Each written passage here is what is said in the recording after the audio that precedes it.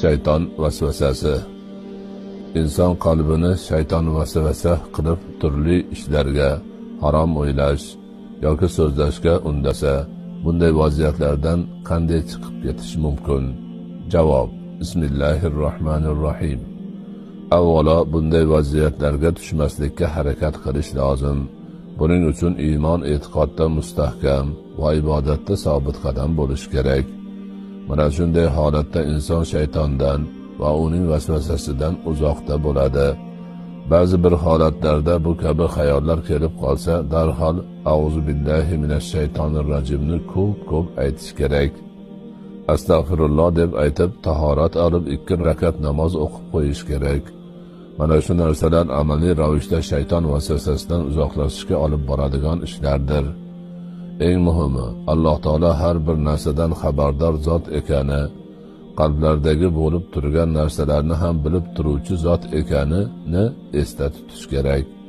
Ibodatga ixlos qilib berilib borayotgan paytda ham ko'pchilikda vasvasa holati paydo bo'ladi. Bunda turli bo'lmag'ur fikrlar xayolga keladi. Hatto iymon va e'tiqodning foydasi bormi o'zi degan fikrlargacha borishi mumkin. Ana shu paytda inson nihoyatda og'ir holatga tushib qoladi.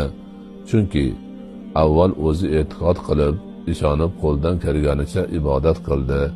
Endi xayoliga butunlay teskari inson o'ylaganda larzaga tushib ketadigan o'ylar kelyapti.